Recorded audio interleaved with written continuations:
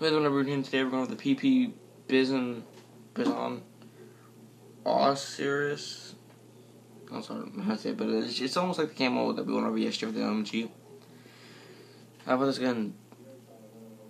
Um, field tested, I think. So there's nothing I'm gonna say. If you have, if you haven't seen the one from yesterday, then you should get it. You should get it. You should watch it because it's the same thing. So the black clip, you know, I really like that. I like all the black on it. I like all the white and the yellow is like perfect. I don't like the back. See, the back doesn't have a color. That, that's not. That's not good.